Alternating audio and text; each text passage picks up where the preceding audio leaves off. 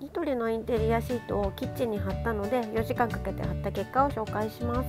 えっと、これまで壁紙を2度貼ったことがありますがその中でも随一の貼りやすさでした。こちらがビフォーの写真です、えー、少し、え汚れています。こちらあの掃除をした後なのでそれでもなかなか綺麗にはなりませんでした。使った掃除道具がこちら。まずは掃除からスタートします。使ったインテリアシートがこちら。462円で2枚入っています。詳しくは記事詳細に入っているので確認してください。まずは掃除をスタートします。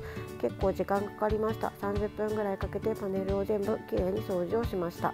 中にあのゴキブリの死骸などもあってそちらの方がちょっとテンションが下がった感じです。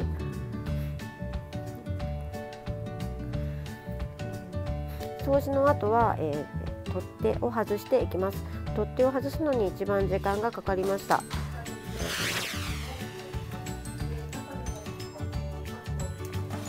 まず、えー、取っ手の片方を外して、えー、ネジを緩めてから全体を回して外すというのがきれいに取れました。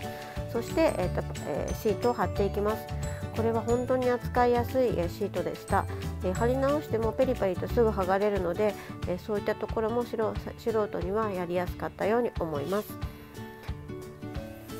こちらが4時間後の完成形です。